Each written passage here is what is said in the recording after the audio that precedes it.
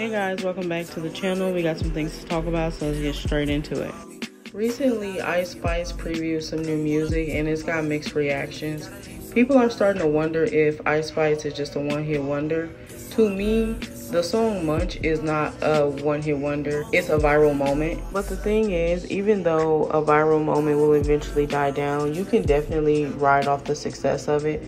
How many people do you know became influencers or even artists off of a viral song? A lot of people were saying that the beat was giving SpongeBob. Whatever that is, y'all gonna have to let me know, but definitely check out the song and tell me what you think down below moving on to Lil Durk in India. Now, Durk has been missing in action, child. Since him and India broke up, a lot of people been saying that that's why he disabled his account. But his DJ said, uh-uh, that ain't why.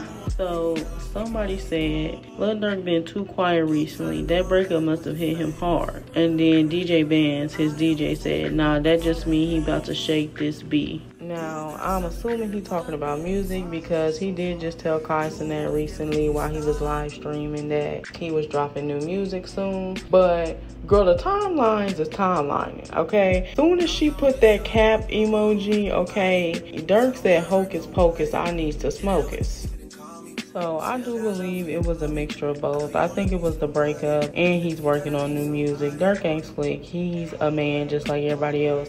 And he has feelings. Hopefully they can work it out. Okay, so the last thing I want to talk about is Gina Hawawa or whatever her name is. I don't know how to say her name, but been a side chick for years, okay?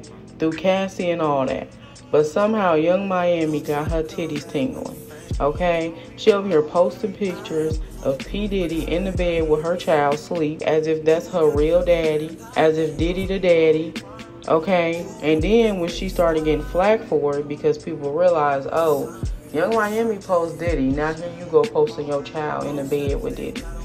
Here she come with some random man she found on the street talking about this her man. Girl, bye. So anyway, that is the end of the video. Let me know what you guys think down below and I'll see you later.